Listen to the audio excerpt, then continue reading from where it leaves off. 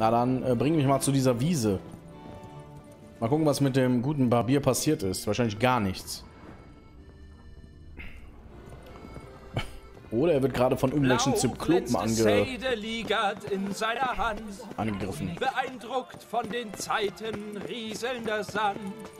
Sie traten aus dem Tor, bewachsen von Reben, den Barbier zu finden, das war ihr Bestreben. Geht das jetzt auf dem ganzen Weg so weiter? Sie sagten, leb wohl den moosigen das heißt wohl ja. Steinen und schritten von dannen, Zweifel gab es keinen. Alter. Sie, Alles wird gut. Der Ort, den die Karte bezeichnet. Äh, okay. Zurück, verdammt! Oh mein Gott. Hexer, rette mich! Bleib ruhig, Mann. Hör auf zu singen.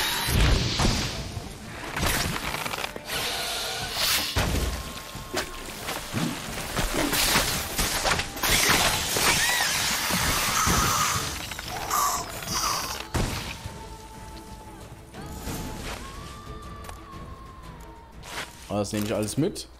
So. Was war das für ein Unhold? Eine Naja. Archespore. Ob hier noch mehr davon sind?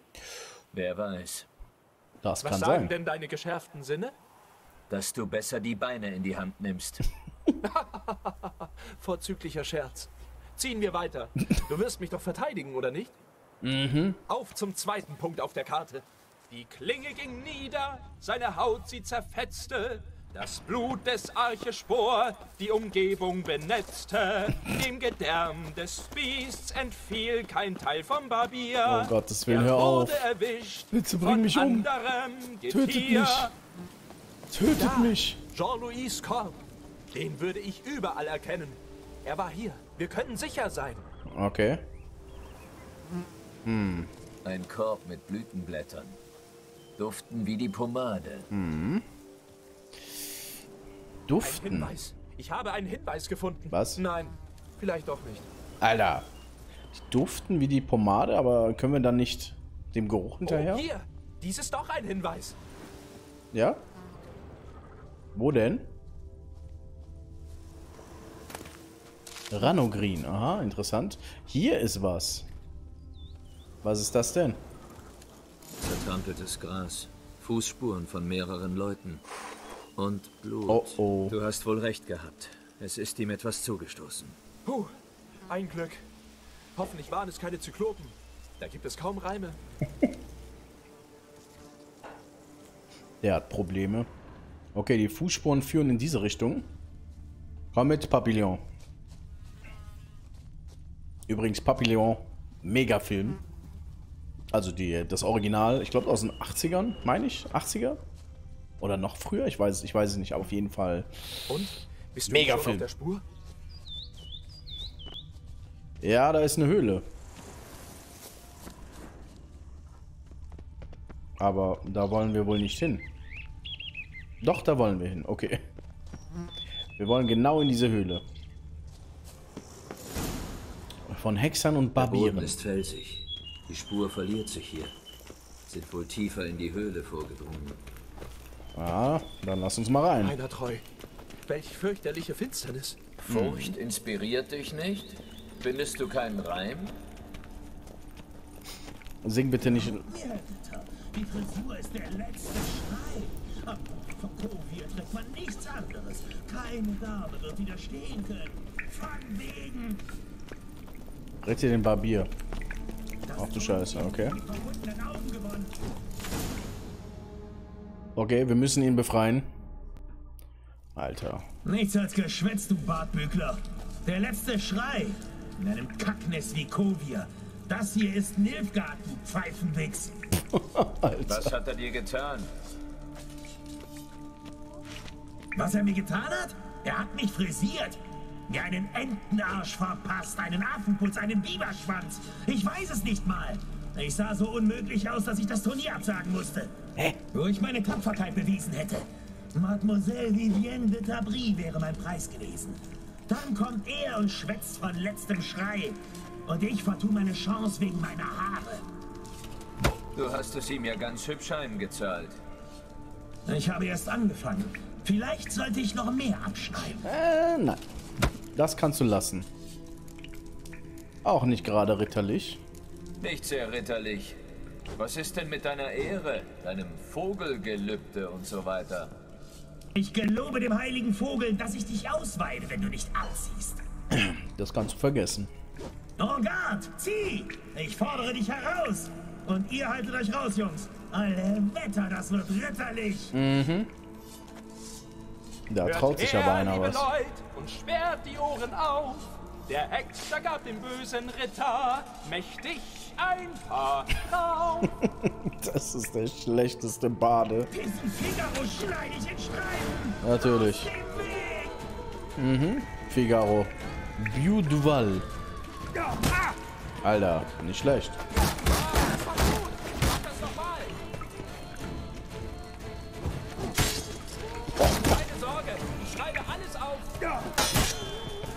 Ist noch nicht zu spät, sich zu ergeben.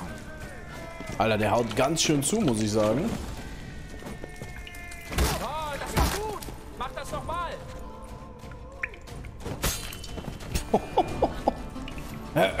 Einfach mal drauf gehackt. Es ist spät geworden. Wir brechen wohl besser auf. Haut ab jetzt hier. Le Papillon? Bei Majorans Wunden. Du hast mich im letzten Moment gerettet. Hey, das war ich. Gern geschehen. Jean-Louis Ludovic nehme ich an. Verschwinden wir von hier, bevor... Ruhe, alle beide. Ich hab's. Die Mannen des Ritters erstarren vor Angst.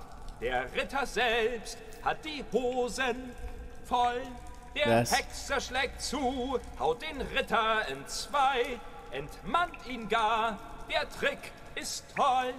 Ein weiterer Streich, er ist schon ganz bleich. Der Hexer lässt ihn im Blute baden. Ja, sogar ertrinken. Wir sehen ihn versinken. Und alles zu Ehren der Herzogin Gnaden.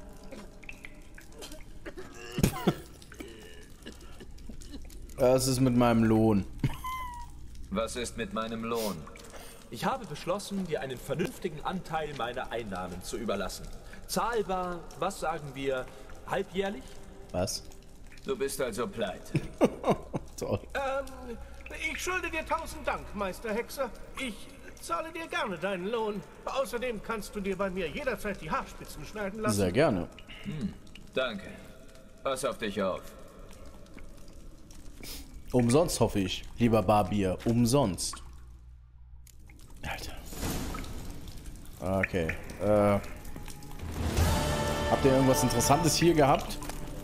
Mhm. Fackel nehme ich mit. Nägel. Ja, komm, nehme ich mal alles mit. Ansonsten, hier haben wir noch einen Sack. Fuchsfell und Färbemittel. Ja, das nehme ich alles mit. Alles. Kann man alles gebrauchen. Irgendwann mal. Was ist das denn? Eine Kiste oben? Ritter Turnierhose brauche ich nicht. Das äh, brauche ich tatsächlich nicht. Wir haben viel besseres Zeug. Hoffe ich. Äh, wir sollten allerdings ähm, chillen.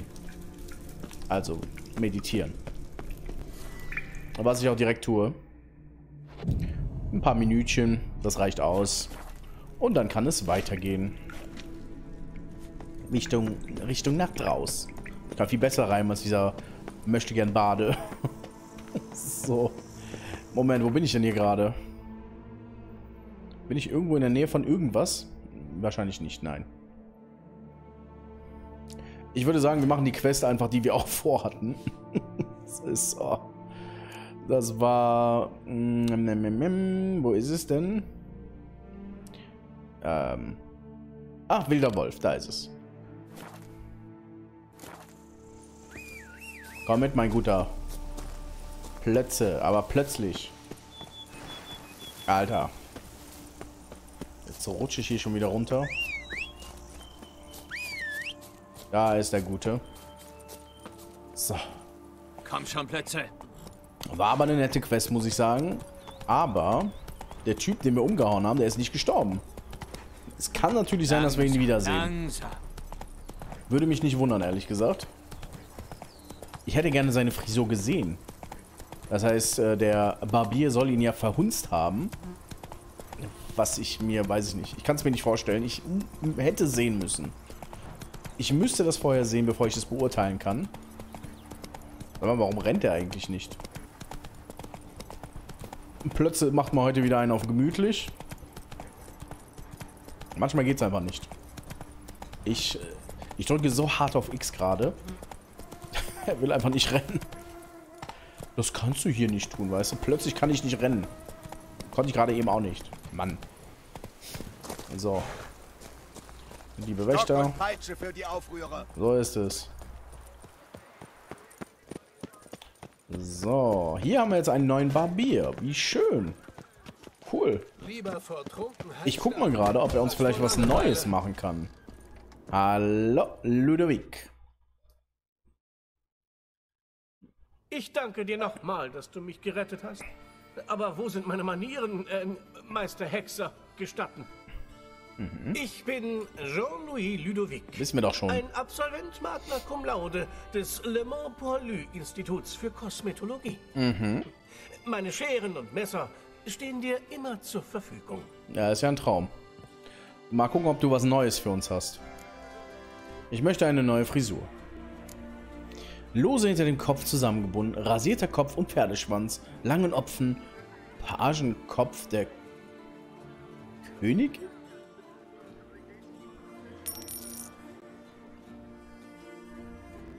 Was?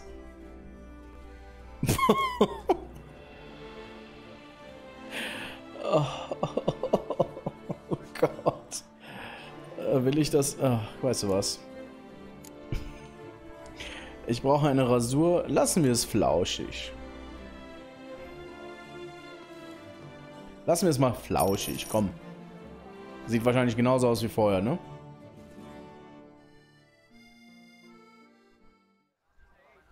Nein, es ist etwas gestutzt tatsächlich. Ich muss los. Wir lassen mal die Danke. Frisur. Bis dann. Die ist ganz Solange schrecklich. ich noch Kraft in den Fingern habe, werde ich Schere und Messer führen. Natürlich. Ich, ich wollte ja eine neue Frisur und bitte sehr, da habe ich sie. ich sehe aus wie Prinz Eisenherz. Oh mein Gott, ich äh, weiß nicht, wie lange ich das aushalte mit dieser Frisur. Geil, okay. Wir lassen das mal ein bisschen. So. Mit wem muss ich reden? Ah, der Buchmacher. Hallo, Herr Buchmacher. Pass mal auf. Ich bin der äh, Meister aller Klassen. Ja, klar. Ich denke drüber nach. Damit du nicht überrumpelt wirst. Denk daran. Intellekt zählt so viel wie Stärke. Mhm. Denn Kerlbürste ist kein gewöhnlicher Kämpfer. Nein? Kerlbürste? Drolliger Name. Kerlbürste? Den Namen höre ich zum ersten Mal. Man sollte seinen Gegner nicht nach dem Namen beurteilen. Meister Kerlbürste ist ein Sattler. Was? Ein sehr tapferer. Seine Schläge sind so wild, wie seine Repliken hart. Interessant, ich bin dabei. Ich setze alles.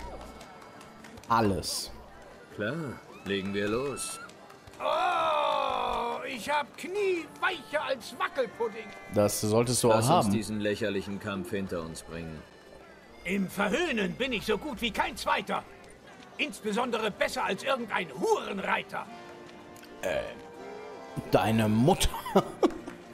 ja. So jämmerlich und blöde. Klingst du, klingst du so immer? Dein Hohn? Da göbeln ja Hunde schlimmer. So jämmerlich und blöde. Klingst du so immer? Na, dann hol ich raus die ganz harte Keule.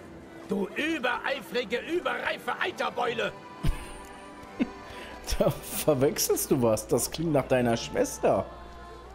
Ich glaube, du verwechselst was. Das klingt eher nach deiner Schwester. Selbst ein Hexer würde sterben, wenn er sie küsste, mein Bester. Du bist nicht mal wert, meiner Schwester wegfangen. Du bist ein mickriger Mutant und noch lange kein Mann. Mhm. Ist das so, ja? Der Start war ein Zeichen. Du wirst doch nicht flennen. Noch bleibt dir Zeit, nach Hause zu rennen. Also, du... blöder... Äh, also gut. Du weißt, wie man jemanden beleidigt.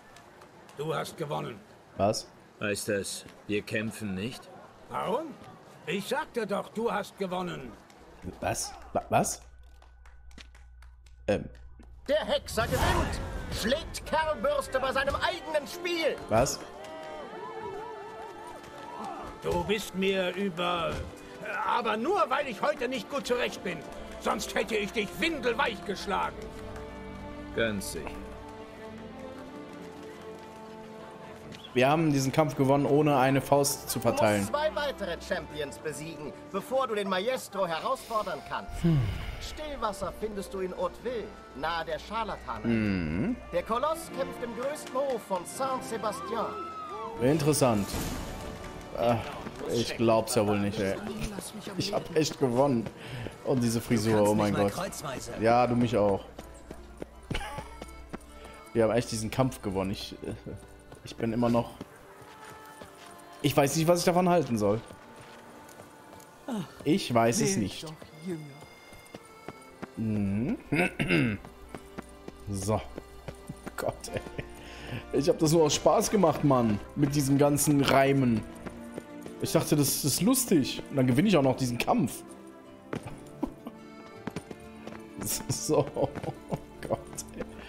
Ah, ist das schön.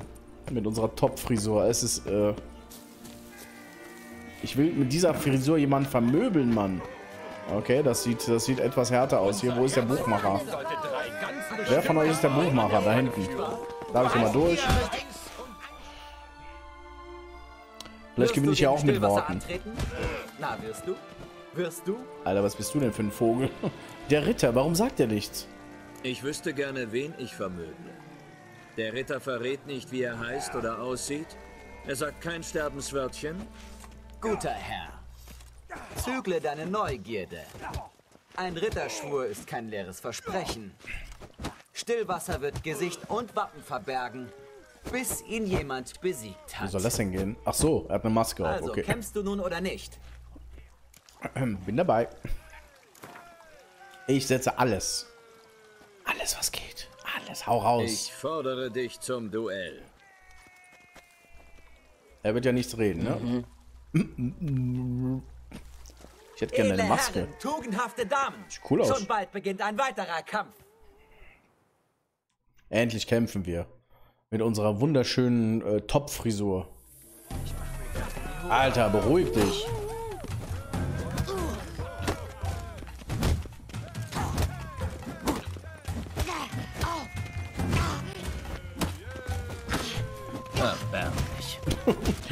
Erbärmlich.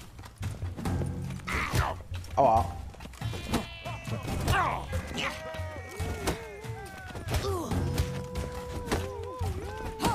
So, gleich haben wir den.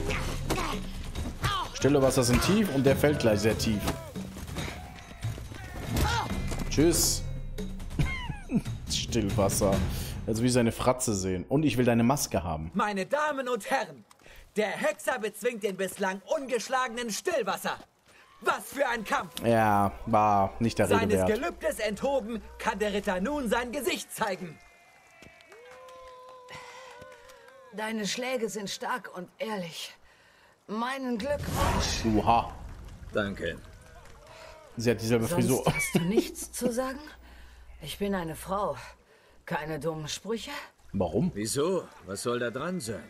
Wir leben doch im 13. Jahrhundert. Frauen führen Tavernen und Höfe und kämpfen.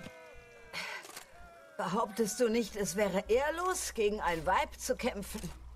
Das ist was für Leute, die Angst haben, gegen eine Frau zu verlieren. Sie hat sehr hart Nun zugeschlagen, muss steht ich nur sagen. noch der Koloss zwischen dir und dem Maestro. Mhm. Du solltest nach Saint-Sébastien aufbrechen und nach dem größten Hof dort suchen. Alles klar. So. Brigitte. Du kämpfst ehrenhaft, das muss ich dir lassen. Gegen uns hast du keine Chance. Na klar, tschüss. Okay, wir gehen zum nächsten Kampf über. Wir, wir klappern jetzt hier erstmal diese Faustkämpfe ab. Das nächste ist ja nicht weit weg. Ist ja direkt hier runter. Die Straße entlang. Es dürfte kein Problem sein. Ich hoffe, wir kommen hier äh, vorbei. Und der soll uns... So. Entschuldigung. Sei gegrüßt. Hi. Na du? So, in 50 Metern ist es soweit gegen den Koloss. Den Koloss von Rhodos, oder was? Wo ist er denn? Ah, hier geht's rein. Du kannst dir nicht mal einen Barbier leisten, geschweige Natürlich. denn meine Waren. Was? Ich war gerade bei einem Barbier. Hier in Beauclair ist Sag mal. das Leben nicht schwer. Hoch mit dir, Gerald. War es wirklich nötig, So. einen Hexer zu holen? Okay, wo ist der Koloss? Wo ist der, äh, möchte gern Koloss? Oh, da unten ist der Koloss. Stellst du dich dem Koloss? Man sagt, bei deiner Gilde wüsste man, wie man kräftig zuschlägt. Oh, das weiß ich wohl sehr gern. Äh, sehr gut. Oh, du siehst wie ein Mann aus, der sich austoben will. Hey, Weißlöckchen, traust du dich gegen den Koloss zu kämpfen? Also gegen Kratos, ja? So heißt er also. Der Koloss? Interessanter Spitzname. Oder hat ihn seine Mutter nach seiner Geburt wirklich so genannt? Aber natürlich, warum auch nicht? Der Koloss, das klingt nach Stolz und Leidenschaft. Also, kämpfst du mit? Da mache ich mit. Und zwar mit voller, mit voller Wucht, Freunde. Mit 100. Gut, kämpfen wir. Äh, mal gucken, was er drauf hat. Kein Interesse. Ich bin schnell. Zu schnell für dich. Schwuppdiwupp, Arm kaputt. Und wie willst du dann dein Schwert halten?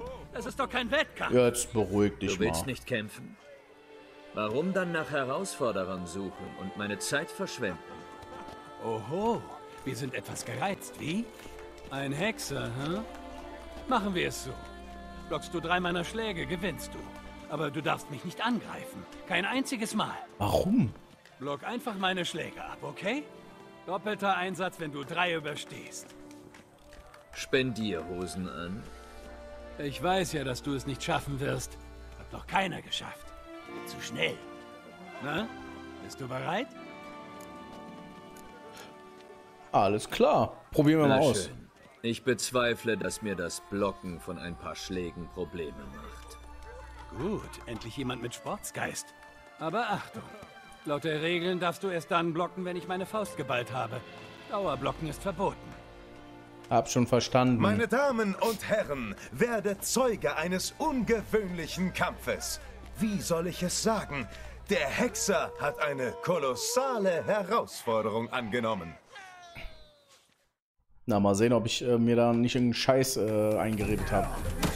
Das war einmal. Na komm schon.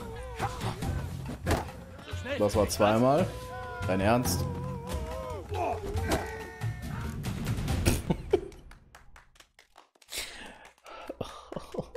Unglaublich! Der Hexer hat die Schläge des Kolosses geblockt. Das hat noch keiner geschafft. Warum nicht? Hier ist dein Anteil. Danke, her damit. Fünf Erfahrungspunkte, immerhin. Das war mal ganz interessant. Und es war viel einfacher. Respekt, edler Herr. Das haben wir seit vielen Jahren nicht mehr gesehen. Mhm. Und nun hast du das Recht, den Maestro persönlich herauszufordern. Du findest ihn bei den Docks. Und das machen wir doch glatt. Den Maestro, also. Komme ich hier runter oder sterbe ich? Nein, das geht. So, bei den Docks. Was? Quest abgeschlossen? Moment mal. Achso, neue Quest. Alles klar. Fliegende Fäuste in äh, Toussaint. Toussaint. Komm her. Du möchtest gern Maestro. Hier hau ich auch eine runter. So wie dem Koloss. Gerade eben. Wir mussten nicht mal richtig kämpfen.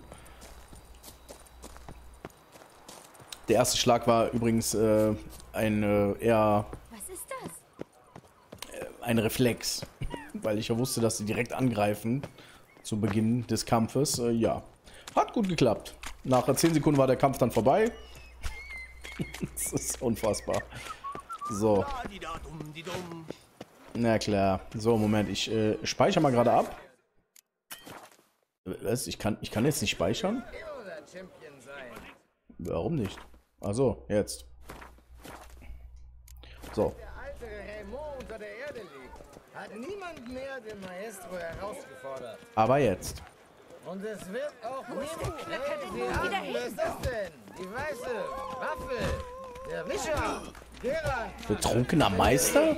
Naja, alle fertig du gemacht. mit uns? Stillwasser. du bist gegen uns. Und Das ist der Meister. Nein, das kann er nicht sein. Das kann er nicht sein. Er ist es, oder?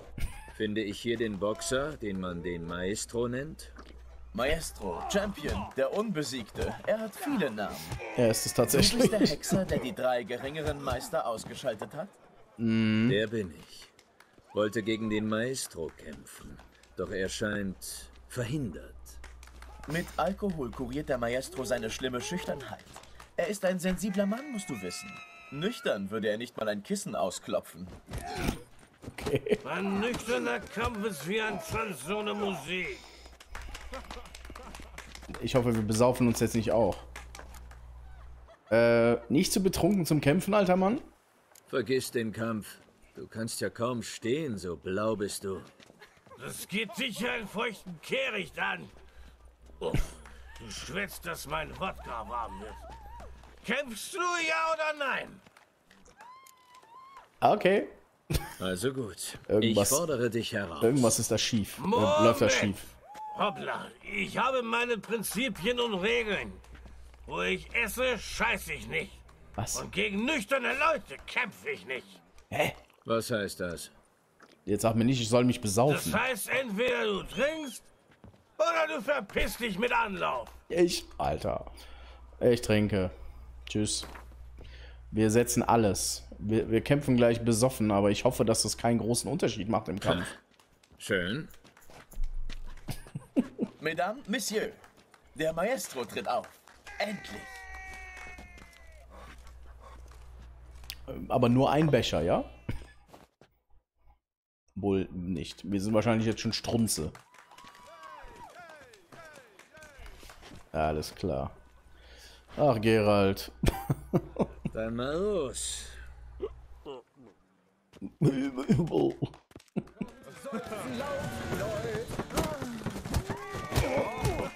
Hey, gut pariert. Dieser Konter, ja. Was? Verlieren wir die Nerven.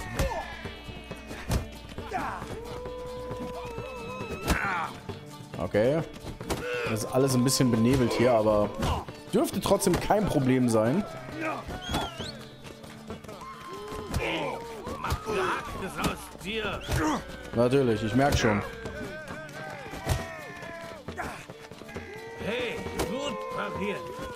Dieser Konter, ja.